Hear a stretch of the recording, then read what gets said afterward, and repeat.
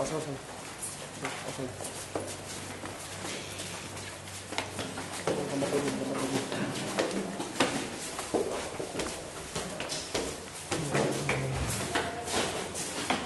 好，好，好，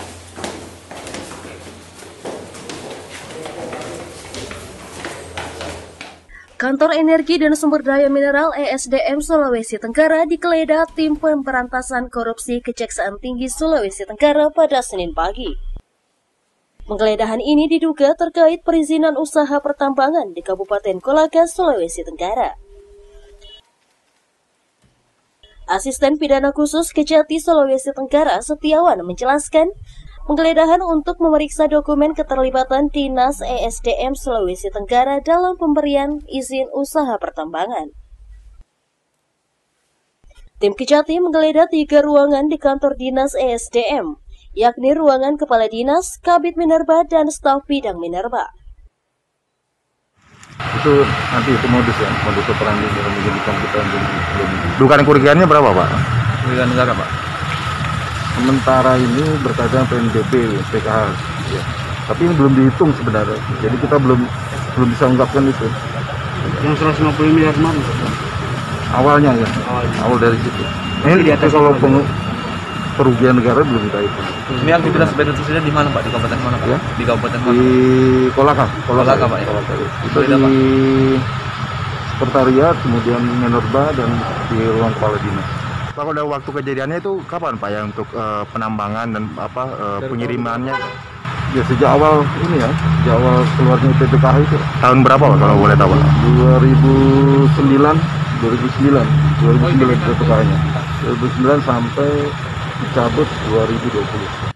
Kejaksaan Tinggi Sultra mengungkap dugaan kasus tindak pidana korupsi salah satu perusahaan pertambangan yang merugikan negara sekitar 151 miliar rupiah. Tim Liputan melaporkan dari Kendari.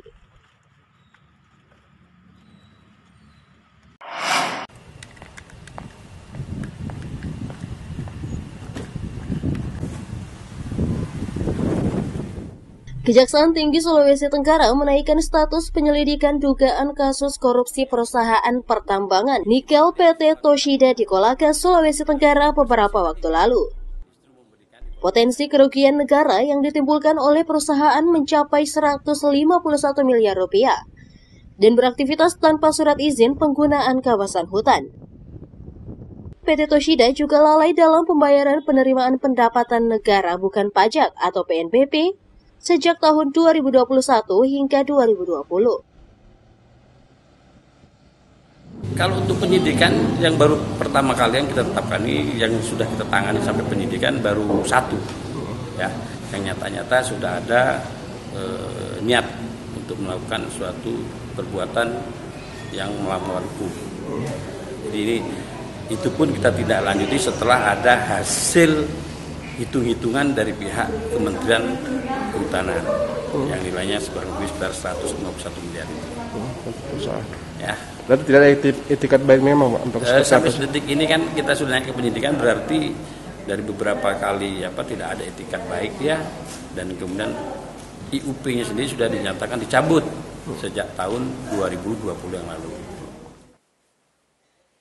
Kasus dugaan korupsi tambang PT Tosida ini, Kejaksaan Tinggi Sulawesi Tenggara kini menggeledah kantor ESDM Sulawesi Tenggara untuk mencari barang bukti tambahan.